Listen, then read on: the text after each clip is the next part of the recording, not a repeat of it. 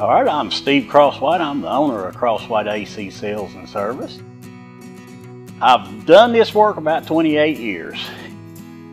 We specialize in heat and air and sheet metal uh, fabrication and we do heat pumps, do gas, oil, electric furnaces, gas piping. Well, when I go out on a job to price it, give estimates, I, I kind of like to treat the customers like I like to be treated with honesty and telling the truth, be straight up with them and try to explain everything in detail that they can understand and uh, get it to where they kind of know what's going on before we actually get in there. The fact that we, uh, we don't change anything unless we get with them first and, and talk to them about that. And then that's when we'll make the changes when they see what's going on.